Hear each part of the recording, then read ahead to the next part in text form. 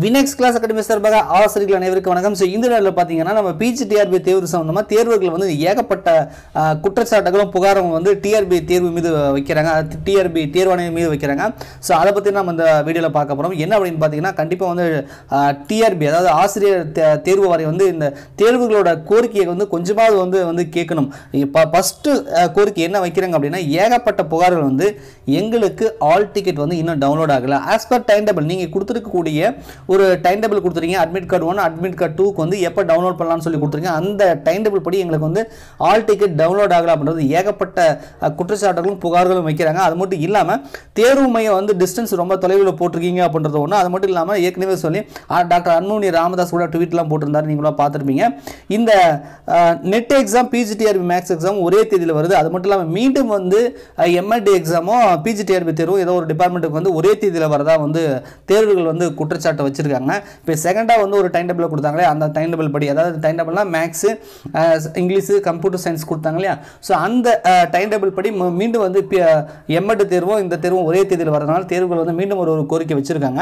So மெயினான ஒரு குற்றச்சாட்டு என்ன அப்படின்னு பார்த்தீங்க அப்படின்னா hall ticket as per time table இவங்க கொடுத்துருக்காங்க. மாவட்ட நுழை வச்சுட்டு தேர்வு மையம் நுழைச்சிட்டுன்னு சொல்லி ஒரு டைம் டேபிள் ஆஸ்பெக்ட் கொடுத்தாங்க. ஃபார் எக்ஸாம்பிள் வந்து பிப்ரவரி ஃபோர்டீன் நடக்குதுன்னா ஏழாம் தேதி பிப்ரவரி ஏழாம் தேதி டவுன்லோட் பண்ணிக்கலாம்னு சொல்லி கொடுத்துருக்காங்க. அதில் நிறைய டிபார்ட்மெண்ட் இருக்கும் ஒரு சில டிபார்ட்மெண்ட்டுக்கு மட்டும் தான் ஹால் டிக்கெட் வந்து டவுன்லோட் ஆகுது. ஒரு சில டிபார்ட்மெண்ட்டுக்கு வந்து ஹால் டிக்கெட் வந்து ஆஸ்பர் இந்த டைம் இவங்க கொடுத்துருக்க டேட் படி ஓப்பன் ஆகலை. ஸோ காலையில் ஒரு பத்தரை மணிக்கு மேலே ஹால் டிக்கெட் வந்து டவுன்லோட் பண்ணலான்னு பார்க்குறாங்க நைட்டு பத்து மணி பதினோரு மணி வரைக்கும் ஓப்பன் பண்ணி பார்த்தா கூட ஹால் டிக்கெட் வந்து ஒரு சில குறிப்பிட்ட குறிப்பிட்ட டிபார்ட்மெண்ட்டுக்கு ஹால் டிக்கெட் வந்து டவுன்லோட் ஆகலை. அந்த ஆப்ஷனே இல்லை சார் எங்களோட டாஸ்க் போர்டில் அப்படின்றது சொல்கிறாங்க ஸோ டிஆர் வந்து இது கவனத்தில் கொண்டு ஹால் டிக்கெட் வந்து பர்ஃபெக்டாக வந்து அந்த பப்ளிஷ் பண்ணணும். இவங்க கொடுத்துருக்கக்கூடிய டைம் டேபிளோடய பப்ளிஷ் பண்ணணும். அப்போ தான் வந்து எந்த எக்ஸாம் சென்டர் எங்கே போட்டிருக்காங்க முன்கூட்டி நம்ம எப்படி வந்து அந்த எக்ஸாம் சென்டருக்கு போகிறதுன்னு சொல்லி தேர்வுகள் வந்து ப்ரிப்பேர் ஆகிறதுக்கும் ரெடி பண்ணுறதுக்கும் யூஸ் ஆகும். ஏன்னா வந்து இப்போ கம்ப்யூட்டர் பேஸ்டு எக்ஸாம் அதாவது காலையில் எக்ஸாம் வந்து ஏழு முப்பதுக்கே ஆஜராகும்னு சொல்கிறாங்க ஸோ அது எக்ஸாம் சென்டர் எங்கன்றதை தெளிவாக வந்து தெரிஞ்சுக்கணுன்றதுக்கு இந்த ஆல் டிக்கெட்டை டவுன்லோட் பண்ணுறதுல எந்த ஒரு இஷ்யூஸும் இல்லாமல்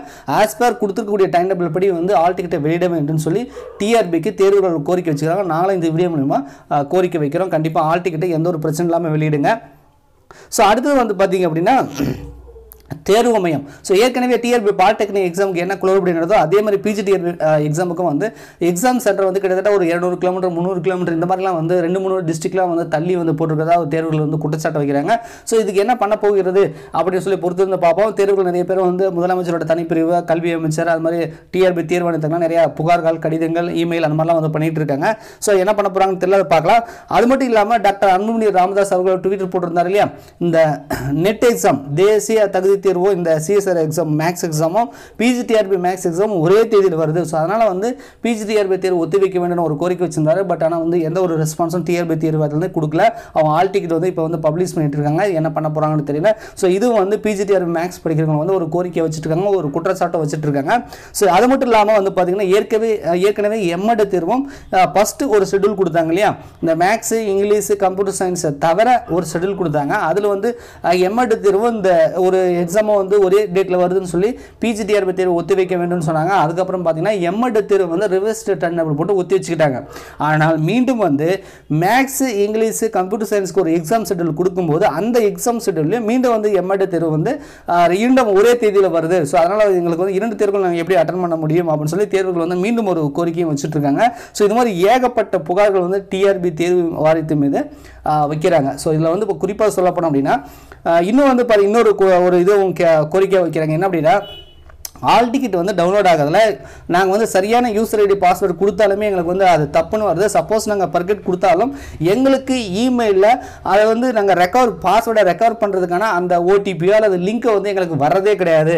ஸோ இது சம்மந்தமாக நாங்கள் வந்து டிஆர்பி கிட்ட வந்து கிளாரிஃபிகேஷன் பண்ணுறதுக்காக மொபைலில் கால் பண்ணாலும் எடுக்க மாட்டாங்க ஹெல்ப்லைன் நம்பர் வந்து ஒர்க் ஆகிறதில்ல ரிங் ஆனாலும் எடுக்கிறதில்ல. இல்லை ஒரு சிலதெல்லாம் சுவிட்ச் ஆஃப் பண்ணுவது. ஸோ இந்த மாதிரி வந்து எங்களுக்கு எடுக்க மாட்டேது ஸோ எங்களுக்கு ஏதாவது ஒரு சந்தேகம் இருக்குது இந்த மாதிரி டவுன்லோட் ஆகல அப்படின்னா டிஆர்பியிலேருந்து அந்த ஹெல்ப்லைன் நம்பர் வந்து பர்ஃபெக்டாக ஒர்க் ஒர்க் ஆகணும். ஸோ கண்டிப்பாக வந்து கால் பண்ணால் எடுக்கணும். அதுக்கு வந்து தனியாக இப்போ பிஜிடிஆர்பி தேர்வு பல லட்சம் பேர் எழுத போகிறாங்கன்னா அட்லீஸ்ட் அந்த தேர்வு முடிவு வரைக்குமாவது வந்து ஒரு ரெண்டு ஹெல்ப்லைன் நம்பர் வந்து கொடுத்து அது பர்ஃபெக்டாக இருக்கணும் எங்களுடைய சந்தேகத்தையும் எங்களுடைய கோரிக்கையும் வந்து அந்த ஹெல்ப்லைன் மூலிமா நாங்கள் கிளாரிஃபிகேஷன் பண்ணுவோம். ஸோ அதெல்லாம் வந்து டிஆர்பி வந்து சரியாக செய்ய வேண்டும்னு சொல்லியும் ஒரு கோரிக்கை வச்சுருக்காங்க. ஸோ இது போன்ற பல்வேறு விதமான புகார்களும் கோரிக்கைகளும் வந்து டிஆர்பி பிஜிடிஆர்பி தேர்வு எழுதக்கூடிய தேர்வுகள் கோரிக்கை வச்சுட்டோங்க ஸோ அவங்களுடைய கோரிக்கையெல்லாம் டிஆர்பியோட கவனத்தை கவனத்துக்கு செல்ல வேண்டும். டிஆர்பி சம்மந்தப்பட்ட யாராவது இந்த வீடியோ பார்க்குறீங்க அப்படின்னா கண்டிப்பாக வந்து ஆல் டிக்கெட்டை டவுன்லோட் பண்ணுற இஷ்யூஸ் ஆகட்டும். ஸோ அதே மாதிரி இரண்டு தேர்வுகள் ஒரே தேதியில் வர்றது. ஸோ இந்த இஷ்யூஸ் ஆகட்டும். இதுக்கெல்லாம் வந்து நீங்கள் ஏதாவது வந்து தேர்வுகள் பாதிக்க பாதிப்பு அடையாமல் வந்து இருக்கிற மாதிரி ஏதாவது ஒரு கிளாரிஃபை இது பண்ணுங்க.